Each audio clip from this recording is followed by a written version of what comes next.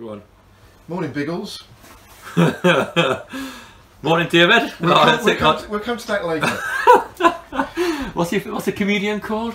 Chubby Brown. I'll be like, Chubby what up, Brown, Chubby yeah, Brown? yeah. Oh, that's it. Oh, so, That's it, the perfect image. Hilarious. Yeah. Well done, David. Let's talk about football. Yes, why not? Um, we've had two games uh, in the last few days, Yeovil and Altrincham. Disappointing for different reasons, probably. Oh, I thought I thought down at Yeovil for the first 30 minutes we were excellent. I thought we'd done really, really well. Um, just the final third, to create a chance and get the chance in. And um, a bit disappointed about. I didn't think we deserved that to be honest. And I thought their manager was the same. Um, thought we didn't deserve it. Then here, the game's won. You know, I think their keeper's made a couple of worldly saves. I've got that, but the game's won. So I was just devastated to be honest. And I was angry at the end of the game and hurt because you're looking at a goalkeeper sprinting 30 yards to put a ball down and whack it in our 18 yard box. We got to deal with that. We got to deal with that. That's why the club got relegated the first time because they couldn't deal with things like that. And we we got people who should be able to deal with that. The back force as wide as we want to be. The midfield haven't splintered in. Um, the young kids give the foul away but hasn't really got behind the ball and it, it ended up being a spiritual thing so I was really upset about it yes so very, very disappointed but we've got another tough game tomorrow we'll be making changes because the bottom line is I'm, I'm trying to make like, I've got to swallow anything till next Saturday to be honest I'm trying to make changes every game. We'll make a few more tomorrow and uh, on Tuesday as well before we get everybody fit for the big one. And um, some lads need minutes so I know we're 100% ready and all the rest of it but it was disappointing when it because we, we got off to a good, good start. We you know I scored and you know I had these little chances and all of a sudden in the second half we got deeper and deeper and deeper and I tried to put two attacking players on to try to get up a pitch. Just like I did at Kings Lynn if it goes wrong it goes wrong. Sometimes it was our best off putting Blocky on the bench thinking about it now or Nathan in to sit and see the game through. But I've done that before this when again sometimes managers got to take a blame as well you know. If I went to I got Max I got a centre forward on and I wanted to go that way a bit and if that didn't work I'll let it hurt my hands up Yeah, I'm I'm uh, uh, focusing a bit more on Altrincham because I think the common consensus was that the performance at Yeovil was pretty good. We just they hmm. had a better set forward than we. 100% yeah, yeah. Um, although we did have 16 corners and couldn't Yeah. score a goal. Yeah, we've got to work on that this morning. We're here this morning because I, I do believe what we've got in this rut to do. And like, listen, we want to play an exciting style of football where we're good at set plays, but we're good at passing the ball. And um, you know, because uh, you know, if we just go a set play team all the time, then we'll get we'll get found out and all that. You know, so. Working with players every day next season, we'll be able to do that. I'm very confident about that and how we were in the conference south and all the rest of it. Because when you're on song, oh yeah, good attack and play two wingers, getting balls in the box. When you're not on song, oh yeah, you're lumping it and and that's the football manager for you. But the bottom line is, um, you know, if we have them corners, we'll constantly rely on Musa. Uh, it's like everybody goes Musa, Musa, Musa. West Centre Half's got to head the ball, Cookie's got to head the ball, Max Cosmo's got to head the ball, Kane Ferdinand's got to head the ball, and put the bodies because Martin made a good point other day. But you know, you've got to find the ball. The ball ain't going to find you. Many times you've got to go and look and find the ball, and that was a disappointing other day where corners, corners, you over here, good balls in the box. Matty Jarvis put a great couple of balls in the first half. Go and attack the bloody ball. We had one lump in there, one win, um, one penalty, and you're thinking it's ridiculous. Like so, it can frustrate you very much. So, and I was very frustrated, man. You it. Yeah, and it was it wasn't too dissimilar on Tuesday.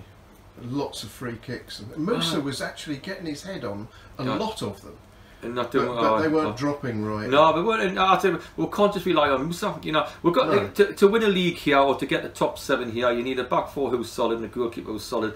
Um, you, you, you've got to get midfielders in the box and all, and you've got to, you, you know, and you you've got to be good in both boxes. Simple as that. You have our stuff takes care of itself. So we just got to get better, a little bit better on both. We're quite solid defensively, although haven't conceded many goals. Attacking wise, we've got to create chances and. I'm looking at say, oh well, you know, but I'm looking like you say, Jarvis put two great balls in, and I'm thinking, where's my centre forward and where's my midfielder joining? in? Why we're not dying to get in the box? Where's the other winger coming in the back? Again, things we can work on next season when we're full time, you know. So we can um, go daily. We're going to have a little go on the pitch today, um, which is great before Hartlepool. We will be making quite a lot of changes tomorrow, to be honest, because I've got obviously the big next week, and um, and we'll just work on it. Simple as that. Yeah, well, we spoke about it on Tuesday night after the match, and you mentioned it again today about dropping further and further back.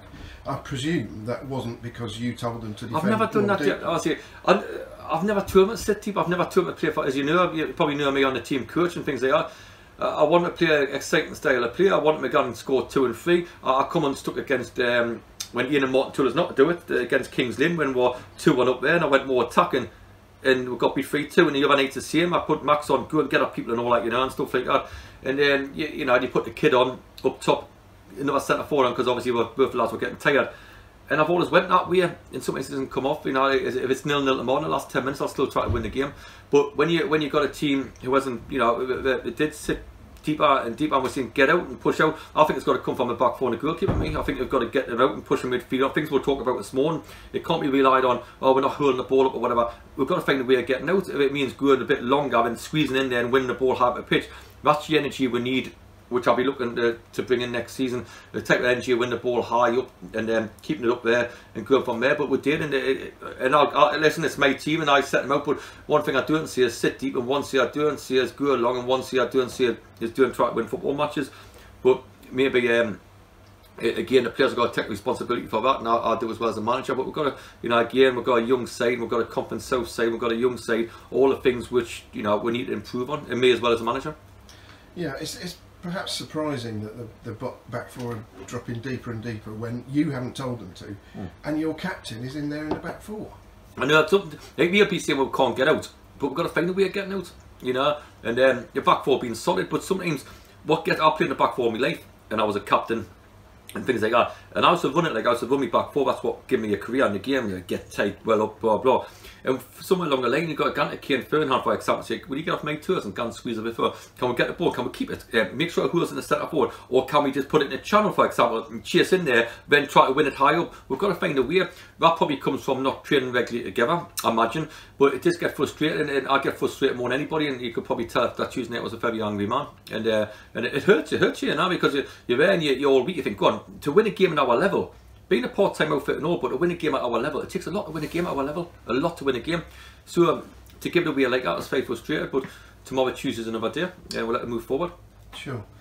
Um, let's talk about players. Yeah. Uh, let's uh, maybe mention Jaden Wareham, who has been basically been coming on every game. Um, made a very impactful start with two goals, and but hasn't managed to get on the score sheet since. Although he has been unlucky. I feel sorry for Jaden. Um, I can't do much more for him now, to be honest. I can't do. I, I, I haven't washed my hands with Jaden as a boy. I think he's a lovely boy. I think he's got a lovely personality about him. I think he's a lovely kid. He's just getting wrong face. That's all he's getting. Um, I can only go. No, my, my thing for him would have been stay here, try to get some game time done. But I told like listen. I've been on. I possibly I told everybody to stay off Twitter. They haven't done it. I told everybody not to farm a piece of meat, and um, you know, he ain't a horse. They haven't done it. He's a lovely boy. He needs to go and have a McDonald's. He needs to get a girlfriend. You need to live a life. A 17 year old kid should leave.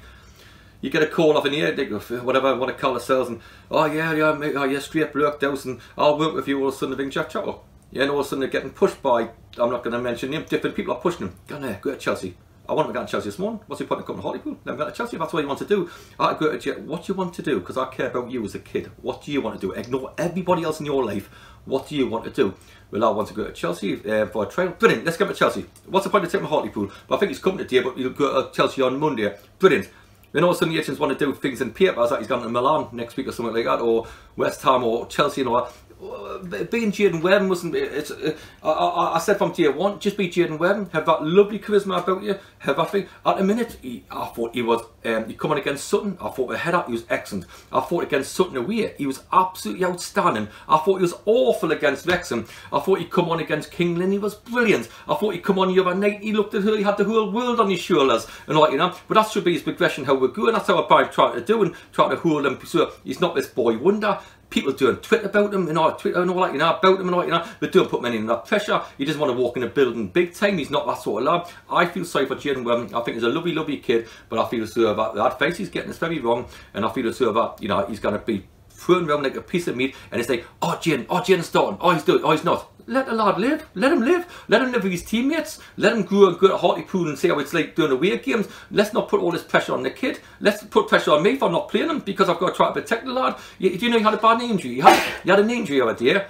and he's coming, his knees dropped. And I know Jaden Webb, I'm thinking, you're injured here. But it, it still, he feels as though he's got this got a bit of pressure to play because, it, you know, and I'm not doubting, he limped on on Saturday and if that was because his performance wasn't very good yet. But he's, he's allowed at 17 not to play well. He's allowed to actually come with a smile, as cheeky smile he used to have. I look at him overnight, I thought, and the staff did, the staff said, what's wrong with Jim? What's blinking wrong with him? And I, uh, Jim, look, when he come on, he was, but he's 17 years old. Let the kid breathe. Let him do his own little thing. Let him be a young man. Let him, you know, it, it's ridiculous. All it is is Jayden, Jayden, Jayden, Jayden. Let's all talk about Jayden. Let's tweet about Jayden. Let's say he's got to Man United. Let's say he's got to Man City. Oh, he scored two goals. And let's say, well, let the lad, he, he's come from the academy. He's got, let the lad learn his game. I, I'm not saying that. Uh, nobody's got that many better records than me getting young kids in the Football League. And if it came to Chelsea, then we'll get him at Chelsea. But leave Jayden Wareham alone. Just let him come with his teammates and be, you know, he's a popular lad because he's a lovely, lovely kid. He ain't a big time lad. He's got good charisma about him.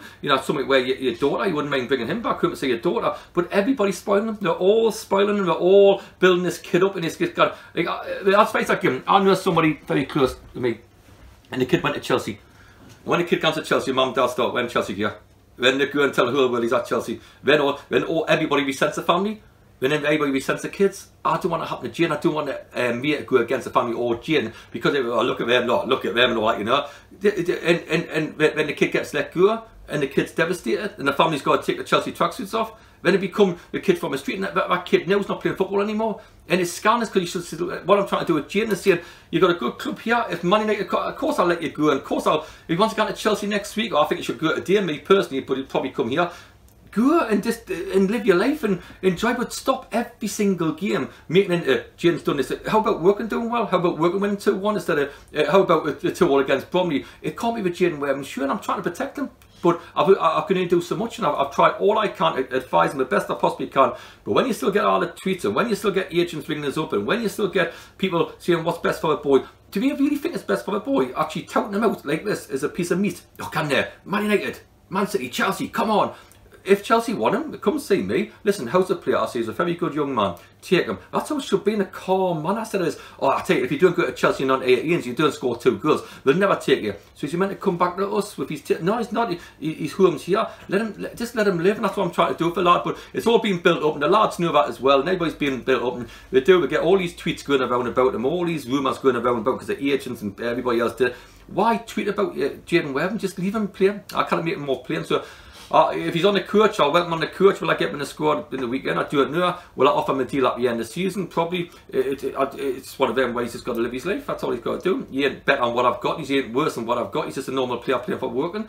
Just happens to be the youngest. But I watched on Tuesday night, and we've got some other good young kids, I'll tell you good young kids. We played against Crawley and here come on and here what Blinken passed it.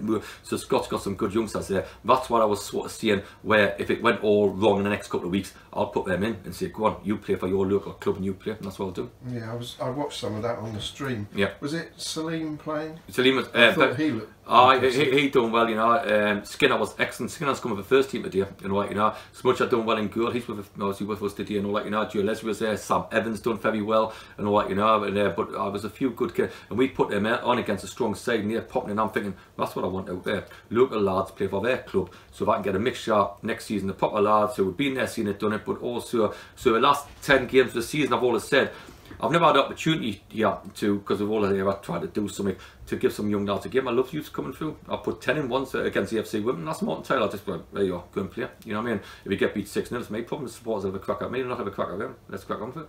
Yeah. Um, was that uh, a sort of preparation in case you have to furlough people that much? Oh, like, like uh, uh threats, motivation. I know my players better than anybody. Um, I, I, just feel as though it, it, it's. This is what I think.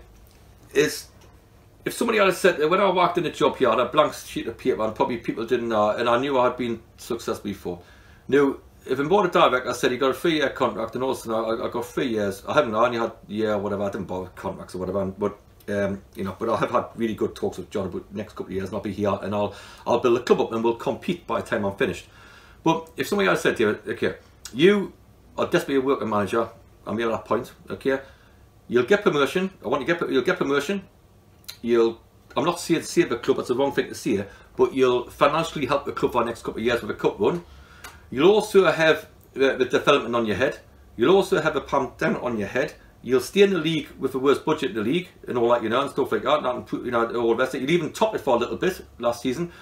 Then you'll lose all your players, eh, but still you'll have another Wembley trip. So from nothing to promotion to the pandemic, to the ground, to the budget, to because even I'm sick of me at the minute, so I understand frustrations about me. Even I didn't like me, you know what I mean? So I understand Dowson Flick and style of football. You can't take with forward, you can't all the things my son tells of what goes on. I understand it because I said Ian Dyer before season, listen, we'll get stick this year because even though we're seeing it be great achievement staying up, people weren't buying into that. So I know I am. So, but I just look at the whole situation, see, for a kid who wanted a job, for promotion, the cup run, saving it to get to Wembley and all the pandemic and ground things like that without making any excuses at all, with no fans, no nothing, just to keep the club going, I think everybody would snap their hands off.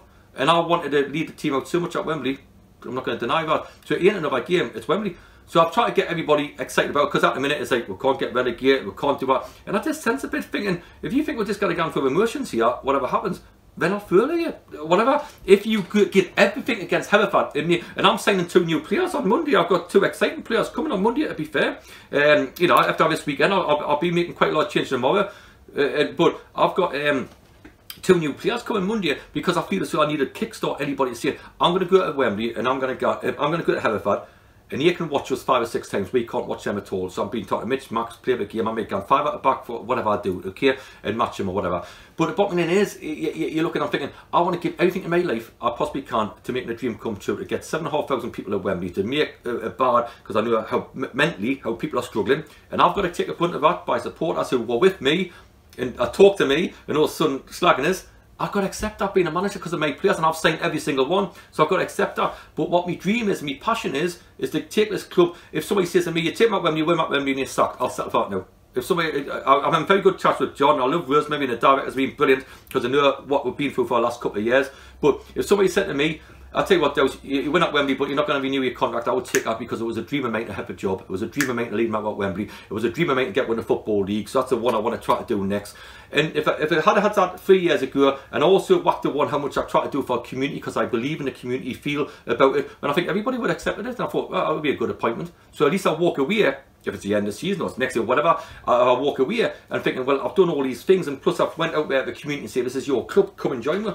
That's the hardest bit in the last year I couldn't do. And um, But I, I, do agree that supporters will see. Like, for example, I look at it, Jarvis gets a ball, great ball in, didn't score. The crowd went, hey, come on, you haven't got that and we can't be little Woking without the crowd and we can't help. So all the things but if people say oh yeah it's not good to watch and I'm sick of it or whatever all that you know I can't do anything about it. All I can do is plan. I believe I'm a very blue to take win the football league eventually. I do think we've got a bit of catching up. Sutton's got to be our model to start with.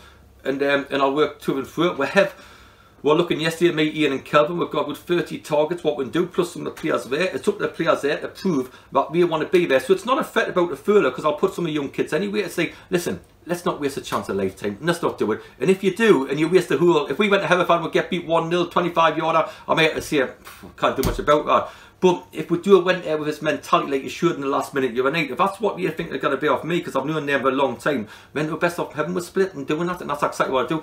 Dream of Wembley, dream the passion, the what you to the town centre, what you to the club. What these lads, Casey, people, Cookie, um, Gavin, or lot have been with me all this time from taking this little outfit where I had no players to promotion to cup fight to cups to getting top of the league to going through a pandemic the ground where it was all about the ground development things the budget cuts not having a budget till two days before the start of the season all the things I think the director as a chairman knows. I just want to say okay we've got one dream. Let me lead the team out at Wembley.